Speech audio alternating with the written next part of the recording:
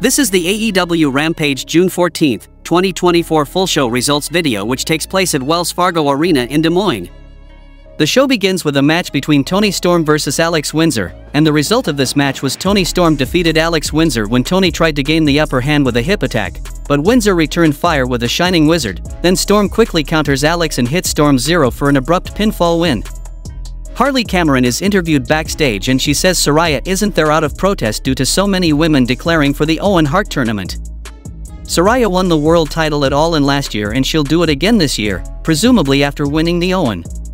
There's a video package where Thunder Rosa and Deonna Purrazzo cut promos hyping up their no DQ match on the one-year anniversary of AEW Collision tomorrow.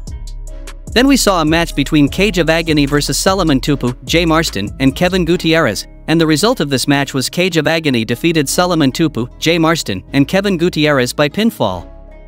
The next match happened between Shota Umino vs Rocky Romero, and the result of this match was Shota Umino defeated Rocky Romero by pinfall when Umino followed up with a running uppercut to the back of the head and then a modified paradigm shift for the pinfall win.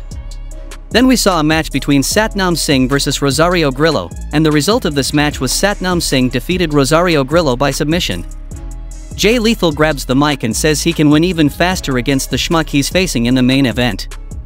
Then we saw a match between Pac vs Jay Lethal, and the result of this match was Pac defeated Jay Lethal by submission with the Brutalizer submission. The commentators hype up Pac as a favorite to win the Owen Hart tournament as he celebrates his win and the show goes off the air.